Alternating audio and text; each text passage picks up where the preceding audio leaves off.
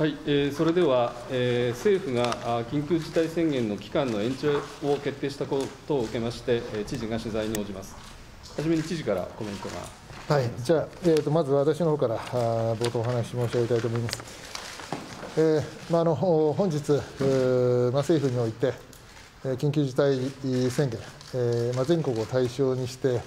まあ、5月末まで、まあ、延長するということが、あまあ、決定いたしました。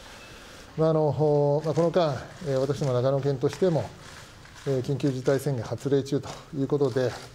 まあ、多くの、県民の皆様、そして事業者の皆様方に、まあ、大変なご協力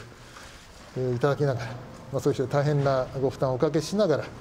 ら、さまざまな感染防止のための取り組みを行ってまいりました。あのまあ、ここしばらくのまあ、感染者の発生状況を見ますと、えー、まあ比較的あの、まあ、ひところその感染者数が、えー、どんどん右肩上がりでですね、まあ、急激に増えて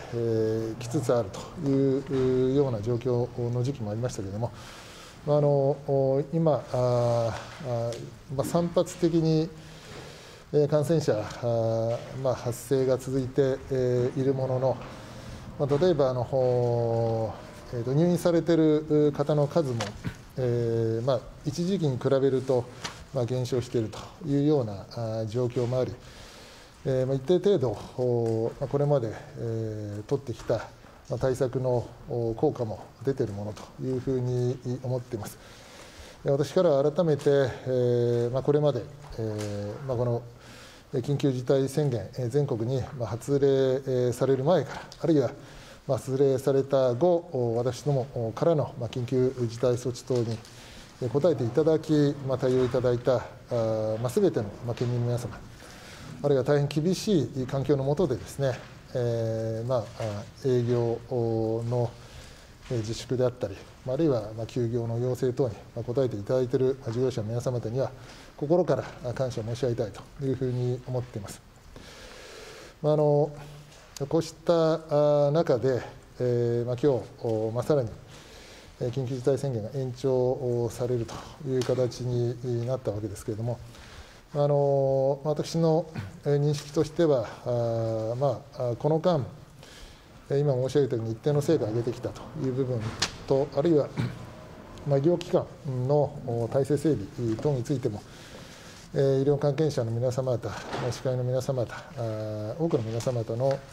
お力添えいただきながらですね、えまあ着実にあの長野県としては対策を進めてくることができたというふうに思っています。まあただあの、まあ、今回、改めて、まあ、全国を対象にして、え緊急事態宣言が延長されたということ、そしてまたあの、まあ、特に、え特定警戒都道府県等の状況を見るとですね、まだ非常にあの感染者の毎日の、まあ、確認件数も、えー、まだまだ予断を許すことができないような状況にあるというふうに思っています。加えてあの長野県、非常にあの、えー、そうした大都市との往来が比較的盛んな活発な地域でありますので、まあ、そうしたことを考えると、まあ、急激にですね、えー、対策を緩めるというような状況にはないのではないかと。えーまあ、気を緩めることなくですね感染防止対策を今しばらくしっかりと取り組んでいくことが必要ではないかというふうに思っている状況であります。まあ、あのこうした中で、えー、我々今内部でいろんな検討を行っているところでありますけれども、まあ、あの明日あ、まあ、本部会議を開催をしてその前段で専門家懇談会の皆様方のご意見をいただく中で、長野県としての方向性を定めていきたいというふうに思っています。でえーまあ、特にあの今、緊急事態措置等ということで、えーまあ、我々、えー、特捜に基づいて、えー、あるいは特捜に基づかないものも含めて、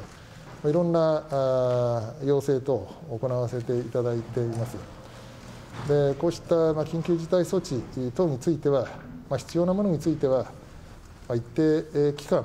延長をしていくということを考えていかざるを得ない状況だというふうに思っています。ただあの、そういう中でも、このまあ、今、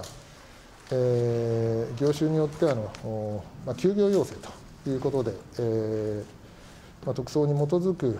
要請をさせていただいているわけでありますけれども、まあ、あの非常に強い権利制限、まあ、試験の制限ということにもつながりかねないものだというふうに思っています。まあ、あのこうしたものについては、あまあえー、我々、えー、今、いろいろ検討しているところでありますけれども、やはりあの、まあ、例えば接客を伴う、えー、飲食店、えーまあ、こうしたあ、まあ、極めて、えー、クラスターの発生の可能性が高いというようなあものを除いては、えー、別の措置に切り替えていくことも、まあ、含めて、まあ、検討を行う必要があるんじゃないかというふうに思っています。まああのまあ、例えばあの特措に基づく、まあ、入場の制限であるとかですね、えーまあ、いろんなあ措置を講ずる可能性がありますので、まあ、そうしたことも含めて、えーまあ、幅広く今、検討を行わせていただいている状況であります。まあ、あのいずれにしても、まあ、明日専門家懇談会の皆様方にこのどういう措置をまあ講じていく必要があるかとそしてまた講じていく場合に、まあ、その期間について、えーまあ、どれぐらいの期間、え、取り組んでいくかということについてもご意見をいただく中でですね、えまあ、県としての方針をまあ決定してえ、皆様方にはお伝えをしていきたいというふうに思っています。あの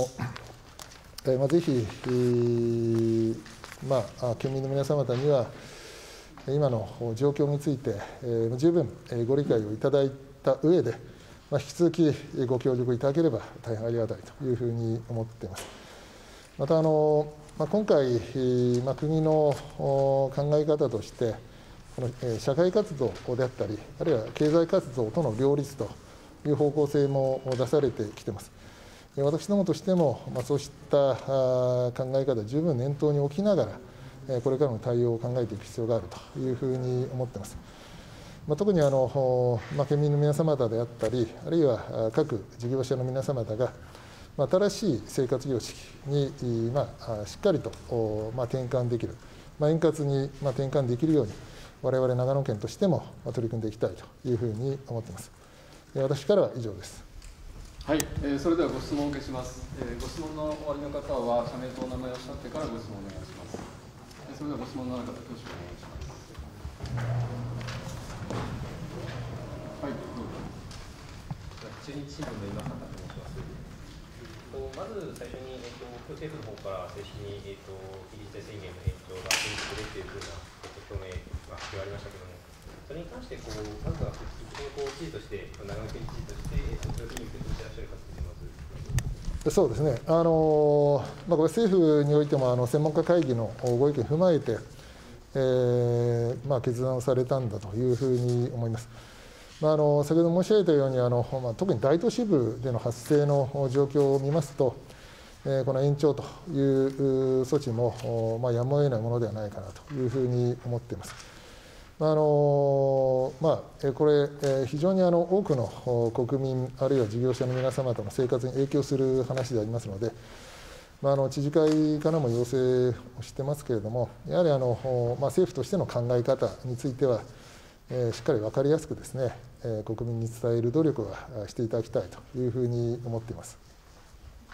えっ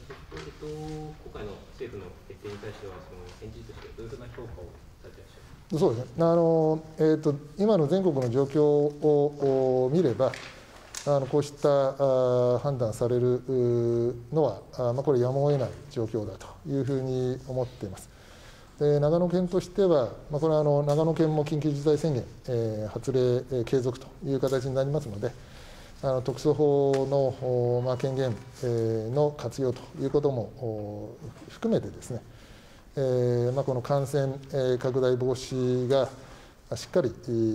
講じられるように、まあ、県として引き続き取り組んでいきたいと思いますし、またその反面、先ほど申し上げたように、えーまあ、生活あるいは経済活動、まあ、こうしたものとの両立ということも、まあ、今後はしっかり視野に入れながらですね、え対策を講じていきたいというふうに思ってます。はいはい申し訳ないんですが、えっと、先ほど、えっと、お話にもあったように、えっと、業種をまあ限定して、まあ、一部一つの緩和等を検討するということでしたけれども、一方でその、えっとまあ、いわゆるそのバーですとか、まあ、クラブですとか、まあ、そういったその接客を、いわゆる接客を伴う飲食店というのは、えっと、続けて休業措置をまあ続けていくっていうふうな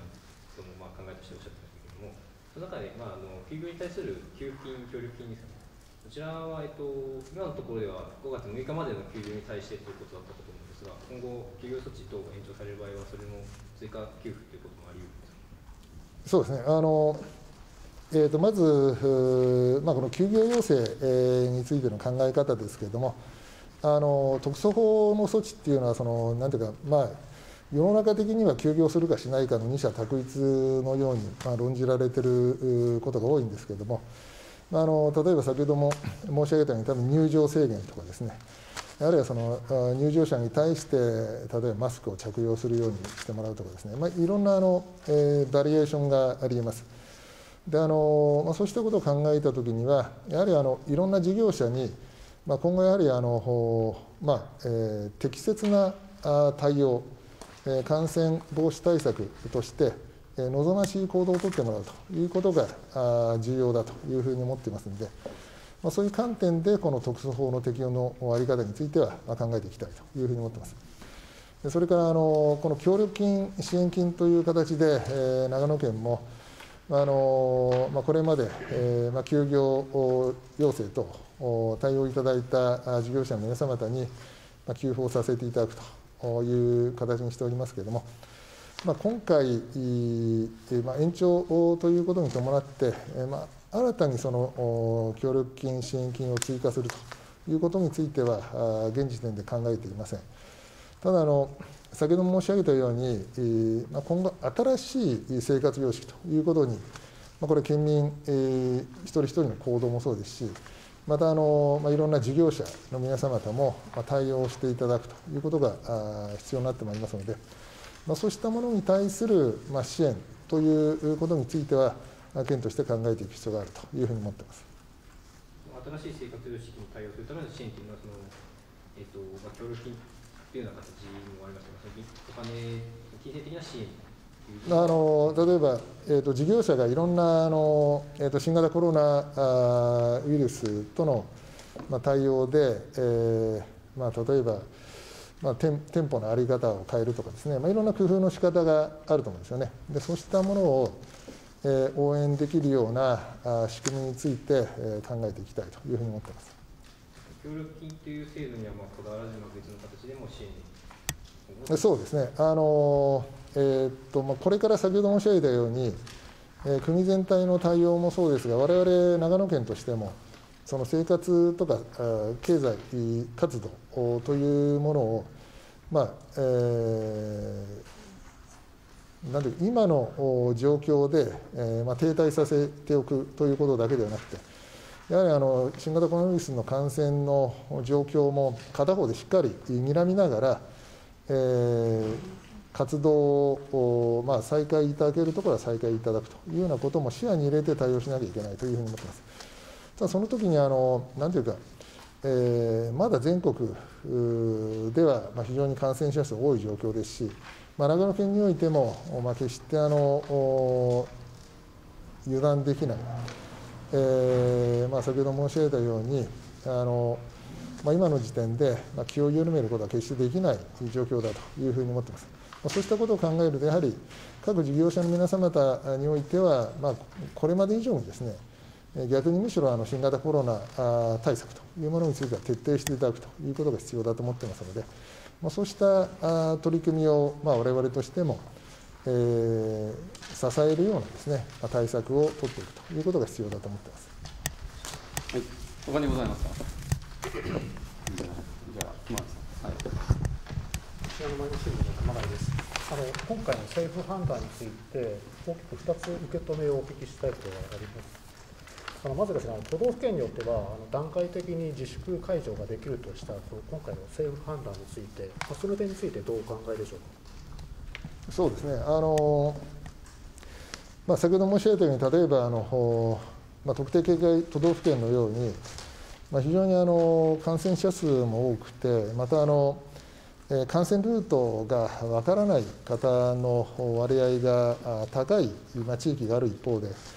えーまあ、あの岩手県のようにまだ感染者が確認されていないという地域もあるわけですので、ま、そういう意味であの、ま、地域ごとの、ま、対応の必要性というものはあの非常に今は、えー、あるんじゃないかというふうに思ってます。そういう意味であのそれぞれの地域の、まあ、状況を勘案しながらですね、えー、我々知事が責任を持って対応していくということが必要だと思っています。ただまあ、その一方で、まあ、さっきその経済的な話もありましたけれども、あのこれ、政府の判断で緊急事態宣言が、まあ、延長されるという形になるわけで、これはあの国民、あるいはさまざ、まな事業者の皆様方には、まあ、大変なあの負担があ、まあ、引き続き、えー、継続するということにもなるわけでありますので、まあ、そうしたあの経済的な支援も含めてですね、あの政府においては、あまあ、より強力なですね、えー、対応策、まあ、支援策、まあ、こうしたものを講じていただく必要があるというふうに思っています。あの特定警戒都道府県で、えーと、警戒をそのまま引き継ぐ一方で、あのそういったあの自粛緩和の件が出てくると、知事が前々からおっしゃっていた全国一律の対応ができずに、県境をまたいだ移動を助長してしまうのではないかという可能性もありますが、その点について、まあ、対策、今後の対策の、まあ、なんていうか、やり方も含めて、どのようにお考えですか？そうですねあの、えーと、今のお話は、どちらかというと、多分あの緊急事態宣言が、例えばあの特定の県が外れる時には、まあ、私もそうした懸念は強く持ってます。で今回、あの緊急事態宣言、あの全国、えー、統一的に、まあ、一律に宣言延長になってますので、あのまあ、私の感覚だと、かなりあの都道府県知事が一番意識しているのは、その県境をまたいだ往来のところは、まあ、なんとか食い止めたいという思いで、えー、いるのは、まあ、どこの都道府県知事も同じだと思いますので、あのこれ、緊急事態宣言がから外れるとあの取り入れる措置が限定される可能性もありますけれども、まあ、一応あの、どこの都道府県でも、まあ、緊急事態措置取れるという形になってますので、まあ、そこについてはあの、まあ、これまで通り各都道府県、えー、対応されていくのではないかなというふうに思いますし、長野県としてもあの今後、やはりあの県境をまたいだ往来をこれなんとか食い止めるという、まあ、今、信州の観光は岩住中という取り組みをさせていただいてますけれども、まあ、ここについてはあ当面ですね、えー、最も力を入れて、まあ、取り組んでいかなければいけない部分だというふうに思っています。はい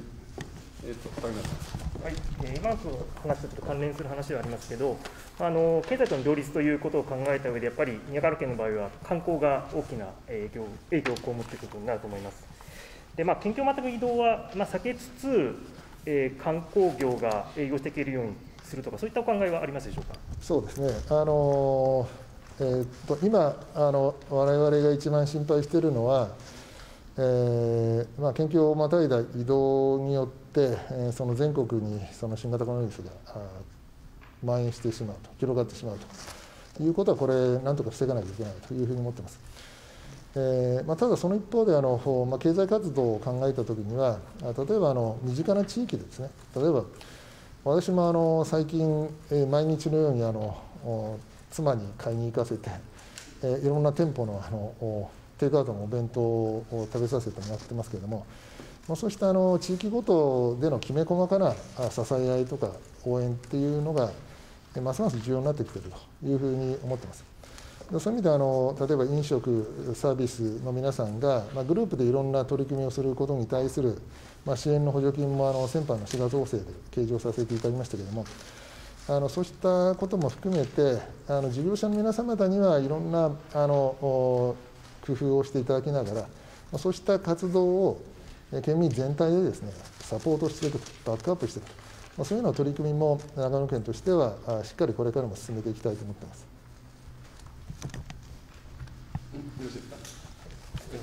はい、ああのの読売新聞の昨の政治的な発言のところで、その積極を伴う飲食店とか、えー、クラスターの発生が高いものを除いてというお話でしたけど、これはあの今日のその政府のあの返事のところで5月31っていうのが出てましたけど、期限としては大体そこら辺まで続くという理解でよろしいでしょうか。そうですね、あの先ほど申し上げたように、えーと、明日長野県の専門家懇談会開催する予定です。であの今、われわれも内部であのいろんな検討を行っていますので、まあ、私どもの考え方も示させていただきながら、やはりあの長野県のその、まあ、県内の状況認識というものを、まあ、専門家の皆さんのご意見をいただく中で、ま、しっかり持ちながら、その対象とすべき、まあ、措置であったり、あるいは期限であったり、まあ、そうしたものは確定をさせていきたいいきたいと思っています。具体例として、えー、その飲食店、えー、接客を伴うというお話でしたけど、まあ、具体的にその次の、まあ、今頭の中にある他のその業種っていうのを、まあ、今の中で提示できるとすれば、どういったものになるそうですねあの、えーと、具体的に例示するというか、まあ、長野県の場合は、もともとその休業要請の対象自体は、え東京都なんかと比べるとかなりあの、まあ、限定をさせていただいて、まあ、クラスターの発生のリスクが高い場所という形に、まあ、限らせていただいてます。で先ほど申し上げたようにあの、まあ、休業するかしないかという二者択一だけではなくて、えーまあ、それに代わりうるような措置、まあ、入場制限みたいなことも含めてですね、えーまあ、これもあの特措法で、えー、要請できる形になってますので、そうしたことも含めてあのこの延長にあたっては幅広く考えていきたいと思っています。確認ですけど、そのえっと、要請ではないあの協力の、えー、部分の宿泊施設とか、あれについてはもう基本も、えー、解除というか、そういう理解でよろしいですか？えー、っとですね、あのちょっと誤解があるといけないんで申し上げますけれども、あの先ほど申し上げたように、まあ、今の局面においては、長野県においてはその一定程度その感染者の新たな感染者の数の発生っていうのは抑えられているという状況でありますけれどもただあの、まあ、全国で緊急事態宣言が発令されたというような状況でもありますしまたあの、まあ、特に大都市部では感染経路が必ずしも判明しないような感染者も多い。そして長野県はそういう地域と、まあ、比較的あの往来が活発な、まあ、今なるべく抑えてますけれどもあの比較的あの行き来がしやすい場所でもありますので、ま、そういう意味で長野県において今あの直ちに急激に措置を緩和するとかですね、まあ、気を緩めるというような状況ではないというふうに思っています。ま、そういう意味であの基本的な対応については、まあ、延長していくということが、まあ、原則的に必要だろうというふうに思ってますけれども、ただ先ほど申し上げたように、その緊急事態措置の中身っていうのは、まあ、いろんなあ取り組みがありますので、えー、まあ、そのどういう業種にどういう取り組みをどれぐらいの期間をお願いするかということについては、まあ明日あ専門家懇談会のご意見をいただいた上で、えー、明確にしていきたいというふうに思っています。こういう理解でいいかってまとめると、その一般的な理解としては、その営業できる、できないっていう、まあ、日本語で理解されてるんだけれども、それよりマスクを着用したら OK とか、いろんな、まあ、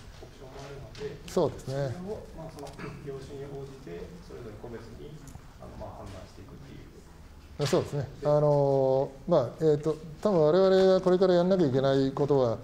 先ほど申し上げたように一つはやっぱりあの研究を挟んだ往来は、まあ、引き継ぎやっぱりこれはなんとかあ最大限抑制していきたいというふうに思ってますし。またその一方であの、まあ、クラスターの発生となりうるようなところについては、これはあの、まあ、引き続き、まあ、しっかりした対応を求めていかなきゃいけないと思ってます。ただ、その時にどういう措置を講じるかっていうことについては、まあ、いくつか選択肢がありますので、まあ、そういうことを総合的に検討した上で、方向を決めていきたいと思ってます。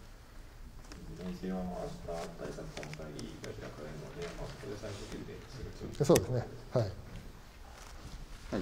えっと、ごめんなさい。あと、どうしてもご質問の方は、じゃあ、あと一人、はい。